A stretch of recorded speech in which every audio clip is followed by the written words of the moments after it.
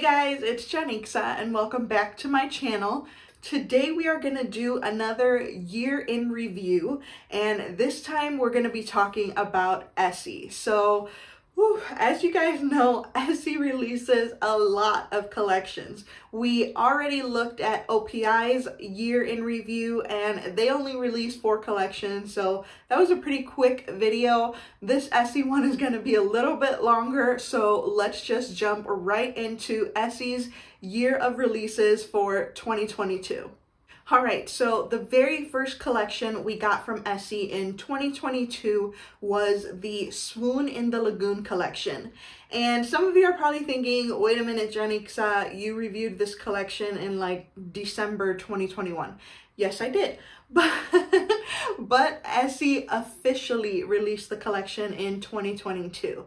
Sometimes polishes are made available to purchase a little bit earlier, but the official release dates don't come till later on. So Swoon in the Lagoon is one of those collections that was available for purchase early, but didn't release until technically January 2022. I loved this collection. It reminded me of the notebook. I said this in my review of this collection. I just got the notebook vibes. That scene in the notebook where they're in the canoe and, you know, it, it I love that movie and yeah, this collection, that's what it reminded me of. This was a nine piece collection and they were all creams. I was fine with that. I didn't mind the fact that they were all creams just because I really loved the color story and the Essie creams were absolutely gorgeous, almost one coaters. They did so many beautiful colors for this collection. Again, I have my iPad here to look at the swatches. They did the yellow, they did like a pinky peach, they did a nice darkish brown, a blue, an orange, two greens, a white, off-white-ish, and a like magenta color. This was a beautiful collection. This is the type of collection that I like to see from Essie if they're going to do all cream collections. I like to see variety. As we'll see later on in the video, there hasn't been a lot of variety for other collections, so this Swoon in the Lagoon collection to me was an excellent start to the year. Next up, we had a six-piece collection, and this was the Valentine's Day collection for 2022. Now, when it comes to Valentine's Day collections, Essie is usually one of the only mainstream brands to do something there. I mean, maybe Sally Hansen will do something, and this year Orly also did something, but I think that the more consistent every year releasing a Valentine's Day collection brand is Essie. I try not to be too hard on these collections because they're so typical Valentine's Day, you know, red and pink and then a metallic. And that's exactly what they did. We have a red, you know, like two pinks, a metallic, we have like a pearl uh, finish, and then we have a neutral color. Um, this is the start of the year of Essie neutrals because oh my goodness is there so many of them? Um, but overall I try not to be too hard on Essie for Valentine's Day collections because I mean I know. What else are they gonna do? Personally, I would love to see an anti-Valentine's Day collection. For example, I want to see a black polish with red glitter or something like that. Um, you know, just maybe something a little bit opposite of the typical romantic colors. Let's do something about, I don't know, forget relationships and single for life kind of collection. Something different like that. I think that would be a lot of fun. Do I see Essie ever doing something like that? Probably not, but uh, overall, this year's Valentine's Day collection was a pretty one. Oh, I also do like that for the Valentine's Day collections, they do a um, little decoration on the cap. I love that. I kind of wish they would do that for every collection, but it seems to be mainly just the Target exclusives and the Valentine's Day collection. So I'm okay with that. It's gorgeous. I love the designs. Next up, we had the Flight of Fantasy Spring 2022 collection. This collection was kind of meh to me. Um, there was a couple colors that I loved, very pretty, but Essie heavily started to introduce neutrals and they're just not always all that flattering and they kind of overdid the neutrals this year quite a bit. So we have the blue in this collection and the purple and then there is a like greenish yellowy color. Those were the three standouts to me but then we have three other uh, neutral colors and those were just not very cute in my opinion. I, I don't like them. I, uh, I, I, I don't know what else to say about them. I don't like them. I will say though that every single polish in this collection had a great formula spoiler alert, every single Essie collection has had a really good formula. So, you know, kudos to Essie for that. Um, but yeah, this spring collection was definitely not one of my favorite Essie spring collections. Like I said, I liked half of it and then the other half I could have done without. Then we got one of two Target exclusive collections for the year. They usually always do a Target exclusive at the beginning of the year, towards the beginning of the year, kind of in the springtime, and then towards the end of the year, towards the fall. This one was the Movin' and Groovin' collection, and I loved everything about this collection all the colors were so gorgeous. They went so well together. Again, formulas were amazing. The caps had cute designs. There was nothing I didn't like about this collection. This was an A plus in my book. It really seems like when it comes to Target exclusives, Essie works a little bit harder and they, you know, kind of step up their game with their color stories and um, even uh, themes of collections because this one is I don't know, is it 60s or 70s theme? I don't know. But the theme is really cute and the theme of the one that we're going to see later on was adorable also. I have really come to love the Target exclusives and yeah, anytime it gets close to a new Target exclusive collection coming out, I get excited because they've been really good since roughly, um, mm, Halloween 2020 because that was a Target exclusive collection and that was a good one and the first time that Essie did a Halloween collection. So yeah, this Movin' and Groovin' collection is perfect in my book and even though it's probably similar to other Essie polishes you have in your collection because again, these are all just creams, I don't care. I say you still need it because it is just so cute with those designs on the caps and I, I don't care. You need it. then after that beautiful Movin' and Groovin' collection, they gave us a dud. they gave us the CVS exclusive Hostess with the Mostest collection. Usually they do a CVS exclusive about once a year and it's usually around spring and summer. Now, this collection was reminiscent of the spring collection. They're not identical, but some of the colors are really, really close for them to have released the collections in, you know, just a, such a short amount of time. Um, I think the standout in this collection was Blooming Friendships, the blue one. Uh, the red one was nice, and then the uh, kind of orangey one was nice, but then there was three, again, neutrals that were just not all that cute.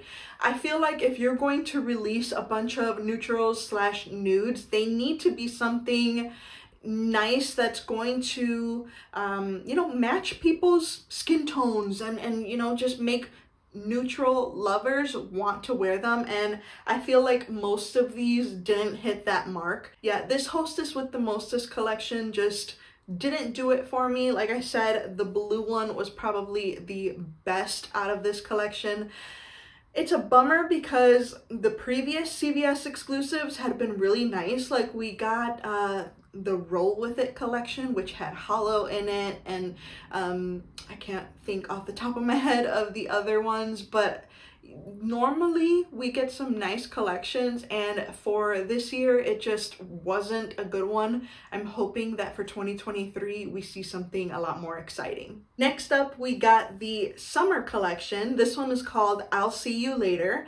This one is a six piece collection. Five of them are creams and one is like a metallic color. I loved this collection too. I enjoyed it very, very much. The color story was really, really pretty. That metallic green was absolutely gorgeous. I loved it. I know it wasn't a lot of people's favorites, but I enjoy metallics a lot and I love the way that Essie does them. So that one was a fun one for me. I also really enjoyed the orange polish in this collection. I'm sorry guys, I don't remember the names of absolutely everything. I try to remember, you know, every polish name and sometimes I get them, but so, you know, I, I just, I can't remember everything, but I will have, you know, pictures on the screen and you guys will know what I'm talking about. But yeah, this collection was a really pretty one. Again, a lot of creams. This is to be a huge trend here in this video. Most of the polishes that Essie released this year are creams. I will try to, you know, tally it up at the end and see how many creams we got from them this year. Um, but yeah, it's a lot. so that's why I was happy to see this green metallic in this collection.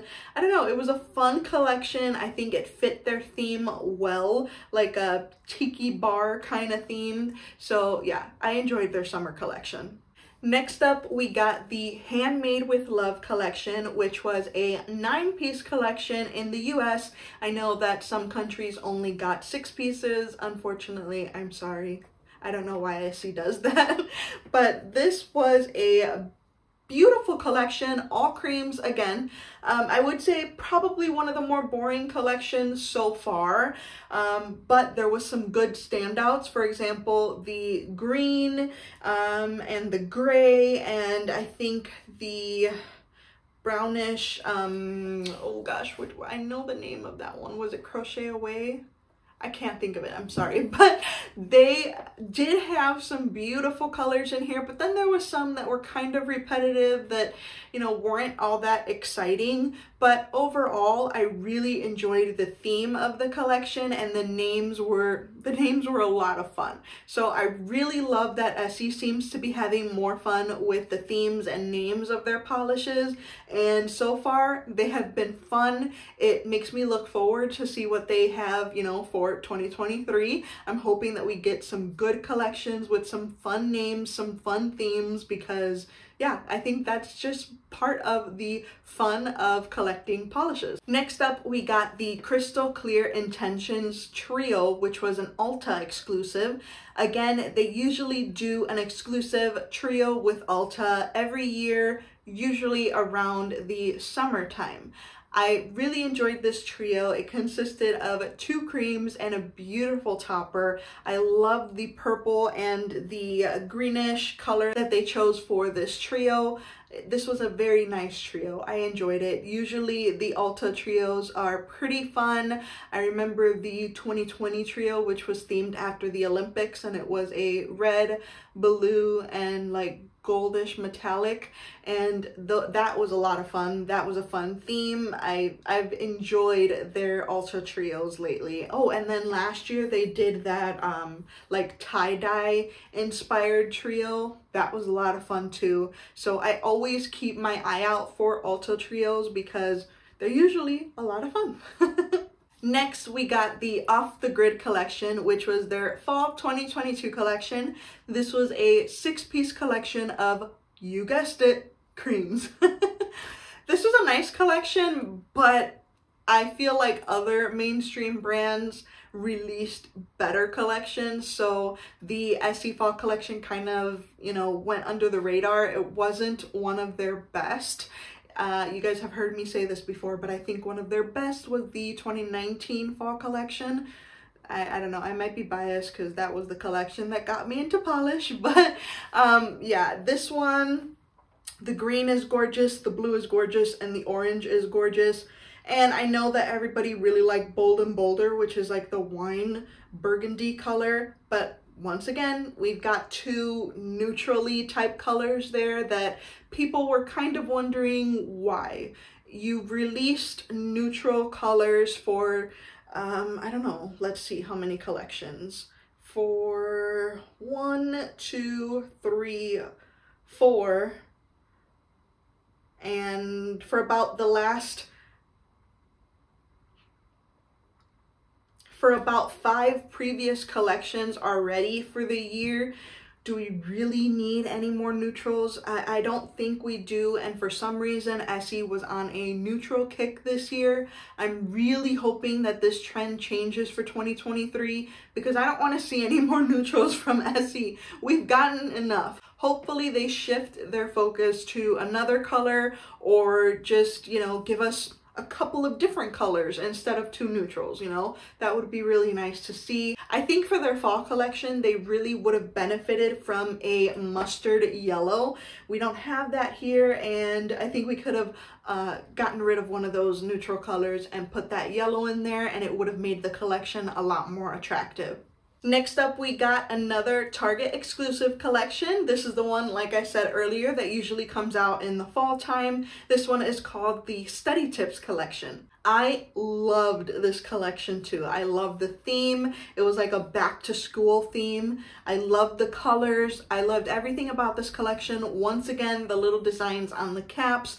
The formulas were absolutely amazing. Yes, they were all creams, but if you're going to release all creams constantly, then you've got to give us a good theme, you've got to give us a good color story, and you've got to give us some cute names for the nail polish, and of course, good formulas. And I think Essie did all of that with these polishes. This collection, ugh, it really was one of my favorites. Both Essie and Target exclusive collections were just a plus collections in my opinion. And lastly, for the regular Essie line, because there is more for Gel Couture and Expressie, but these are just the regular Essie line, we have the Winter 2022 collection. This makes the 11th collection of the year for Essie, so that's a lot. That's a lot. OPI only did four. Orly usually does four and maybe a few sprinkled here or there. But yeah, Essie did 11 collections in their regular line this year. Um, and this winter collection a lot of people didn't like it because they felt like it was more of a fall collection and I can definitely see that and maybe that's why I enjoyed it a lot. I really liked the green, I liked the gold metallic, I really liked the blue. I enjoyed this collection. I thought the formulas were excellent, excellent formulas. I don't know, I don't usually, okay, usually this collection would have been one that I was like, ugh, really, Essie? Why? But for some reason, no, it just really caught my attention. And again, I'm assuming maybe it is because it looks like a fall collection and usually fall collections for me are my absolute favorite. So yeah, I'm gonna go with that answer. but yeah, I enjoyed this collection and Yep, we got four additional creams, but uh, yeah, I was just really happy with the green and the um, gold metallics here. All right, guys, that's it, finally. so let's get the final numbers here. So for the regular Essie line, they released 11 collections totaling 69 polishes. Out of those 69 polishes, 62 were creams. You guys see what I mean about way too many creams? Out of 69, 62 were creams. Ugh. So 69 polishes for just the regular Essie line, but then when we add in the Expressies and the Gel Coutures, we have a total of 101 polishes released by Essie as a whole in the year 2022. That's a lot, you guys. That is a lot of polishes. I think Essie is probably gonna win for the most amount of polishes released in a year. That's that's crazy. 101 polishes and I bought them all. wow. All right guys that is it for this video let's discuss this in the comments down below i bet you guys are gonna have a ton to say about these final numbers so please leave your comments in the comment box down below.